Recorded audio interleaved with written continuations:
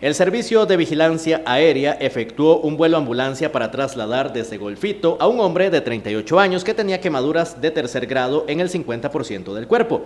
La Caja Costarricense de Seguro Social solicitó ayuda a Vigilancia Aérea, quien contó con el apoyo de personeros de la Cruz Roja para movilizar por tierra al paciente hasta el centro médico. Ya se contabilizan 10 vuelos ambulancia en este comienzo de 2019. El personal de la Dirección de Servicio de Vigilancia Aérea del Ministerio de Seguridad Pública efectuó 10 vuelos ambulancia en lo que va de este año. En dos recientes se trasladó también a un hombre de la zona sur del país. El primer vuelo ambulancia para trasladar a un hombre de 33 años quien sufrió un infarto y requería atención médica especializada. Este vuelo ambulancia se efectuó en el avión policial y fue solicitado por la Caja Costarricense de Seguro Social.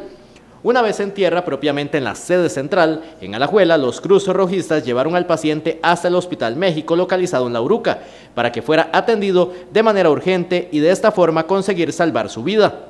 En un segundo vuelo ambulancia, pero este hasta la comunidad indígena de Alto Guaymí, en la zona sur del país, la vigilancia sumó fuerzas junto a la Cruz Roja para llegar hasta una de las viviendas y dar atención a una adulta mayor que se encontraba enferma. El servicio ingresó a dicha comunidad en el helicóptero policial matrícula MSP-007, pues esa aeronave reúne las condiciones para ingresar a dicha zona montañosa y permite que se convierta en herramienta vital para ayudar a los pobladores indígenas que requieren este tipo de ayuda. La mujer de 81 años fue llevada hasta el hospital de Ciudad Neily. En dicho lugar fue recibida por el personal especializado de este centro médico. En el 2018, las autoridades del Servicio de Vigilancia Aérea realizaron 260 vuelos ambulancia en diferentes partes del país, entre ellas, y una de las más recurrentes, la zona sur.